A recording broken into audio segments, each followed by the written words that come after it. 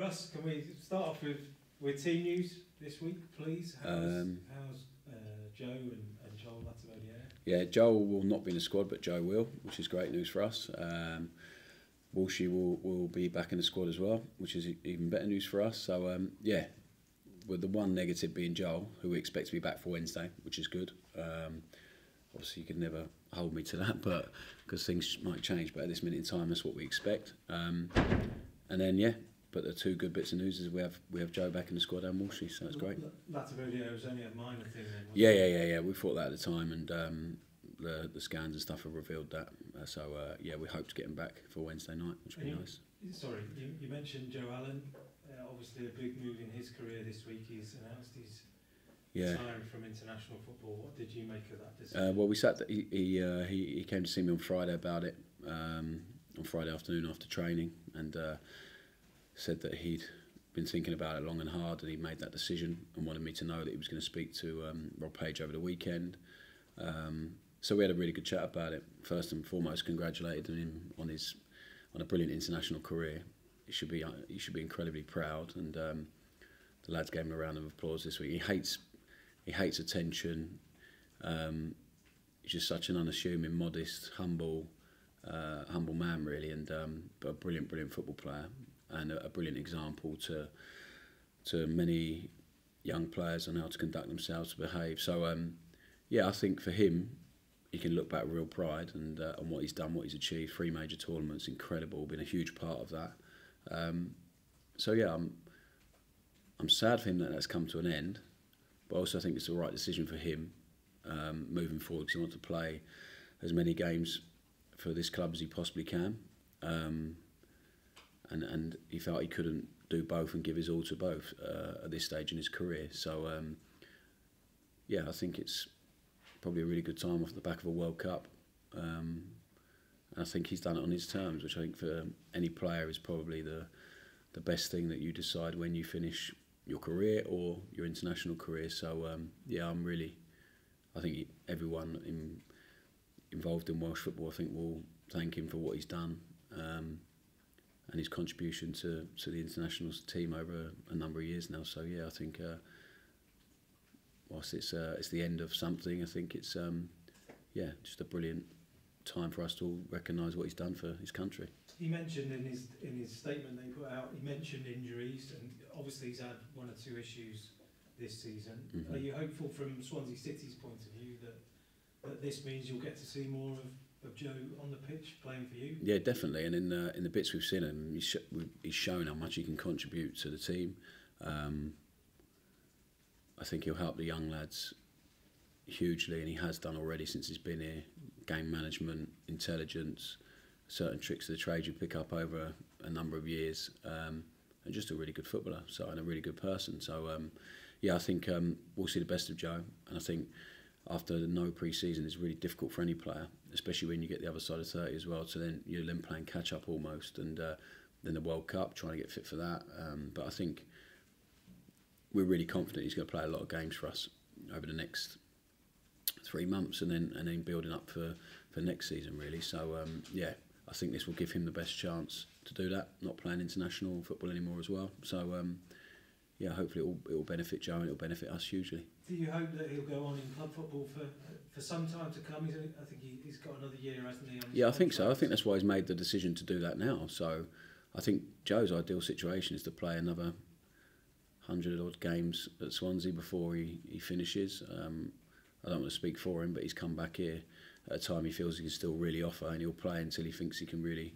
continue to offer um, what he can on the pitch. So uh, yeah, we're excited just to get him back on the pitch at some point and, and keep him fit and keep him in the team and in the squad, and um, we know how much he can contribute for us. And Liam Walsh, you said, is going to be involved. Yeah, yeah. Obviously, he's been out for for a long time with a significant injury. Mhm. Uh, what sort of um, part can he play uh, from here on? Yeah, well, he's played half an hour and 60 minutes now for two for, in 221 games in friendlies. Looked really sharp. He's he's just a he's one of the best technicians I've ever seen. Walshy. I think all the coaching staff would agree with that. Um, two-footed, incredible balance, touch, intelligence, um, awareness. And I, think if it wasn't for injury so far in his career, um, he'd have played a lot of games, at least in the championship. So now it's about getting him to a position where he can help us on the pitch um, as often as possible.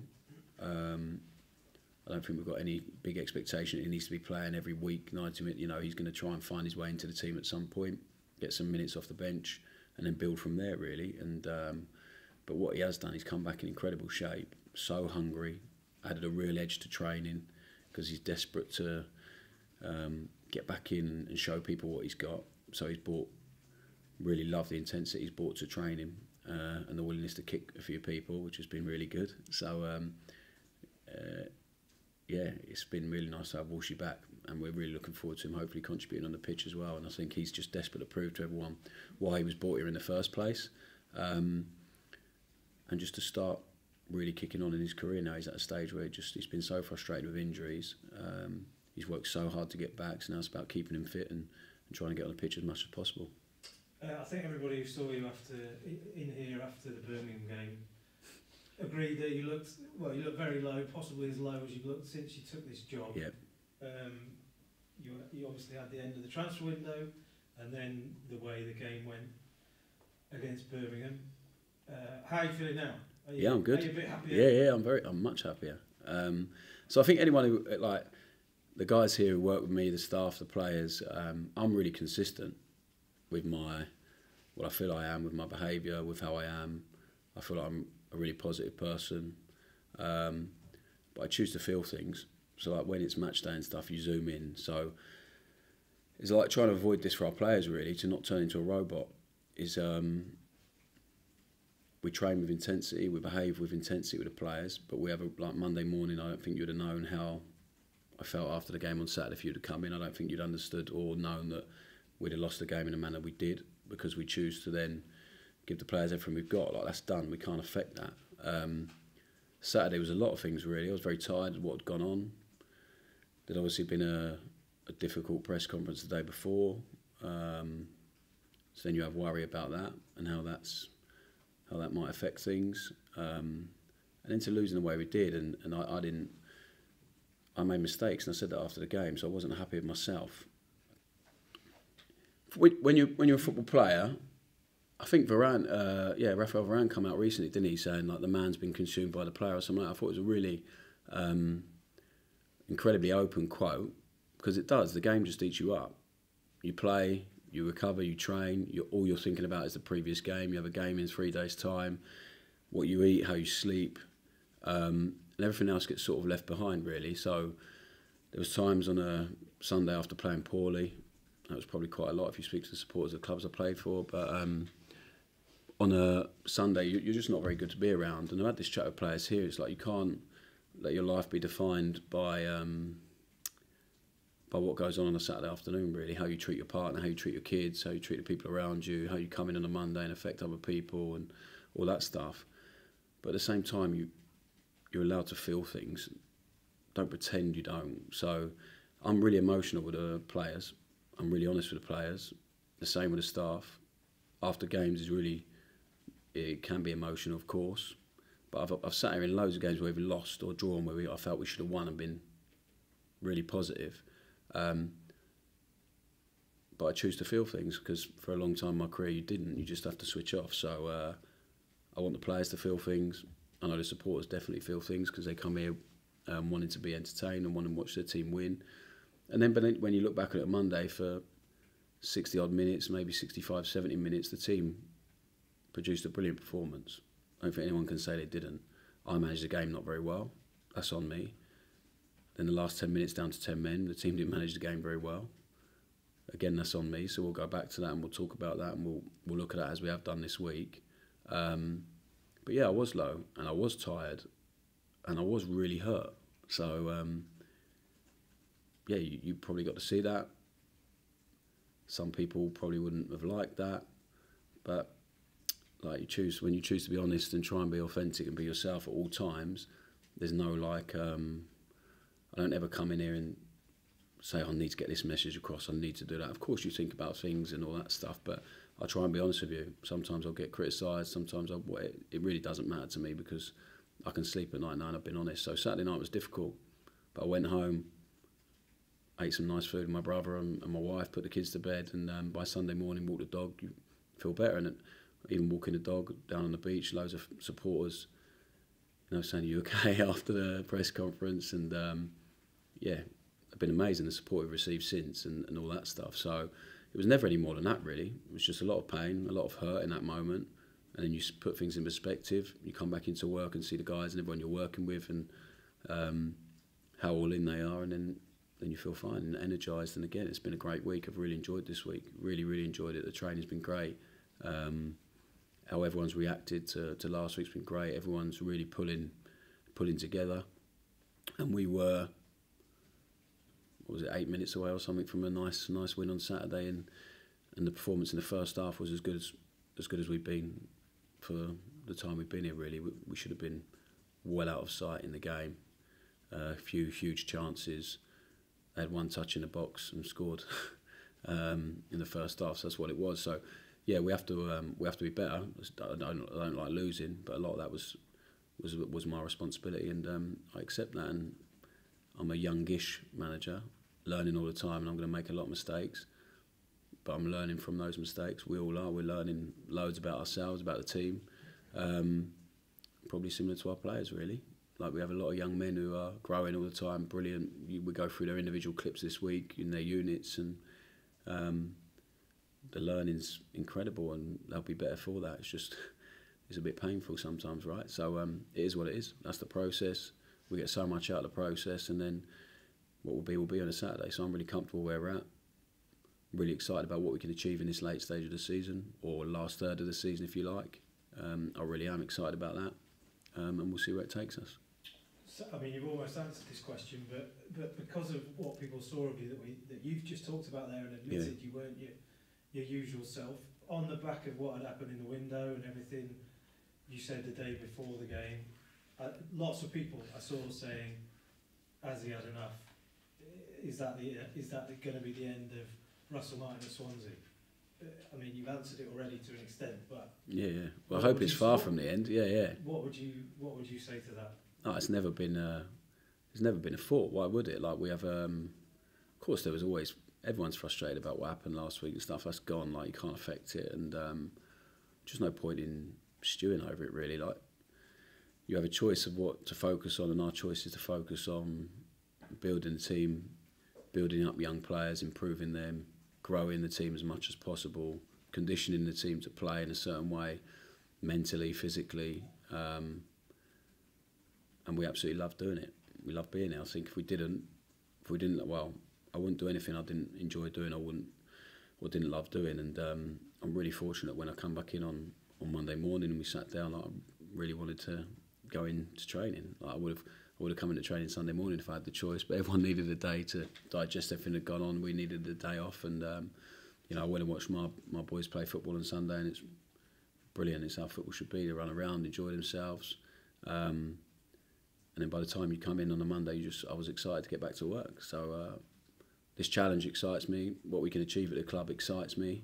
Um, we just have to be aware we're going to have to do it differently to, to other teams. That I think the league's starting to take shape. There's always an anomaly or two, but if you look at the teams that are in around the playoffs, the ones with, which is usually most of the time happens, um, the financial power and stuff. So if you haven't got that, I've said before, you need time to build. And the one thing I have been given here, and we've been given here, is patience and support in in that sense, in terms of you know the understanding of what we're trying to build, the understanding of of um, you know the improvement we've made in 18 months. If you look at in every aspect of the game, really, the amount of chances we get, the amount of chances we give the opposition, the amount of um, ball we have or dominance with the ball we have, but in the opposition half and final third is everything's moving in the right direction in that sense. Um, but I understand people want to see uh, results reflect that. But we, we really believe really good process and performance will eventually lead to, to better results more often than not. And um, we hold on to that belief because of what we see every day, what we see on a, the boys' play on a Saturday, and the amount of courage it takes to play the way that they do, the players. It's just like we can never take that for granted. And I talk about it all the time, but it does. It takes um, incredible courage to play that way, inc- incredible um, attention to detail and the work on the training pitch the willingness to make mistakes on the training pitch. And um, it's not always easy. It's not always easy because it's difficult. But players don't want to make mistakes. Like everyone has ego to a certain degree. They don't want to be vulnerable in front of their teammates, in front of coaches and stuff. We have a group here who are just so willing to do that and then hold their hand up when maybe something doesn't quite go right, and we have to do the same as a group of staff. So, um, yeah, we're, we're, we're really excited about what's to come. And it's always been a long term project, and we've always said that, and we always believed that. So, um, nothing's changed in that sense. And after everything that went on last week, the video of what some of the owners said, what you said, have you had further conversations with them now and I don't know, moved on from it? Have you spoke? Have you been in contact with them? yeah, week? of course. Yeah, yeah. And I think that is the that's the word I would use. It's the term I would use. We've moved on. Um, I think everyone agrees we will we will try and do things a bit differently and try and improve on what we've done. Um, And ultimately, I think it will turn out to be a positive for the club. Everyone's been really honest with each other. I think that's all you can ever ask from people. Um, so in the conversations we've had, and now we're we're moving on and focusing on getting some stuff done here at the club. Um, Josh has been in some positive talks with our, some of our players, um, agents. So hopefully there'll be things working on that. It'll take a few weeks, I would expect. That's that's the nature of it. But um, yeah, from it there's come some positive stuff and some positive actions that we'll, we'll move forward with. Have you had any more thoughts about free agent players, or is that ship sailed? Um, yeah, not really. I think we're still getting sent players and stuff like that, but it's assessing the need that we have and, and not just bringing in players for the sake of it, really. So um, yeah, at this minute in time, and there's nothing, there's nothing happening or nothing going on that really. And you talked about your excitement for the rest of the season. Given that you didn't get the help that you, you, you talked about wanting and needing, what do you see as the target from here on in? I think to um, to keep building, to to improve on what we've done recently, to get as close to the the top six as we possibly can, and see where that takes us. I think nothing's changed from when we had a slow start, then a really good run, and then we've been on a frustrating run where performances have probably been better than they have been in the um, 18 months we've been here, and the results quite haven't quite reflected that for one reason or the other. So I don't think the players have ever wavered in what they believe they can achieve. We definitely haven't, um, and also we haven't we haven't. I think the best thing about that for every tough time, the identity of the team has never faltered never wavered, never. We've been flexible. We've been tactically flexible. I think we've we've tweaked things. We've been adaptable, but the fundamental identity of this team and the the way it looks, what it stands for, has never changed. So there might be a few mistakes in there, but the willingness to run, to try and get the ball back as quickly as possibly can, to dominate the ball as much as we can, to be really aggressive and progressive with the ball. Um, there's been a real big aggression in the team in, in that sense, and we have to maintain that. So um, it's something to be proud of. I think I think it's something that supporters are proud of on the whole. I think it's something the players are really proud of, and that identity is the thing that is going to help us move forward and be successful as a club because we can't just go out and buy the best players, um, and and that's where we're at really. So uh, it's to maintain the identity we have, to keep building on that, to maintain the players' courage, to keep building on that. Um, and to win more games of football and then see where it takes us. It's that simple, really. Tough one this weekend. One of the very one of the strong teams in the division. Although yeah. You, should have got something against them in the home fixture early in the season. Yeah, the home game we played really really well. I think it was a really good game. Um, two good teams. I think the test for us now with a with a young group of players on the whole is going to Bramall Lane where it's going to be um, a brilliant atmosphere team their teams at the top of the right at the top of the table. Um, they're winning games in, in lots of different ways. Real threat in terms of their power and athleticism, and can mix their game up quite a bit. Um, real experience, and I'm sure the crowd will will be right behind them. So um, it's up to us to go and go there and try and be the team that we want to be.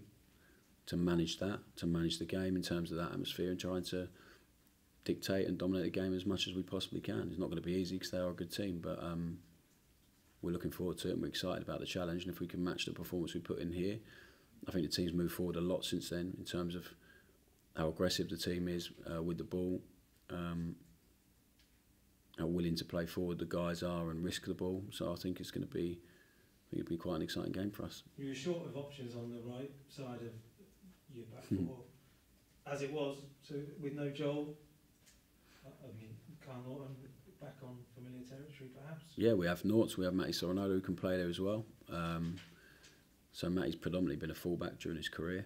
Um, Norts is an outstanding footballer wherever he plays. He, he can help the team. So uh, yeah, we're we're Lats is, Lats is a, a big miss because of his intensity. I think if he's still on the pitch on Saturday, we win the game. If there's one guy you want to defend your box at that point, and he would be the, he would be the guy. Um, and I think um, Lats's contributions sometimes go understated a little bit, or or um, people don't always see what he brings when you when you don't look at the finer details of the game. But I always feel like we've been um, a huge compliment to Joel. We've been a better team with him in it, and the players around him understand that and love him. Um, and opposition players don't like playing against him very much, which is always a nice a nice sign. So uh, he will be a miss, but I think um, Kyle's a very different player, so is Matty, but they're very different different strengths that we can utilise in, in different ways. So uh, yeah, whichever one of them plays, um, we'll be fine. We'll be more than comfortable with and be more than happy with. Thanks, Russ.